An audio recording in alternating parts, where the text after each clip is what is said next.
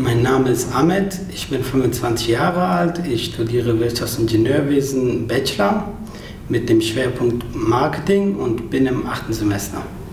Mein Fachabitur habe ich im Bereich Wirtschaft und Verwaltung gemacht, deswegen habe ich mich auch für Wirtschaftsingenieurwesen entschieden. Der Schwerpunkt äh, Marketing reizt mich, da es alle äh, Prozesse im Unternehmen beeinflusst. Das Marketing beeinflusst äh, das Produkt, den Preis, wo wir es ansetzen und wie wir es verkaufen. Der Schwerpunkt Marketing ist hier sehr vielfältig und man bekommt umfassendes Wissen vermittelt.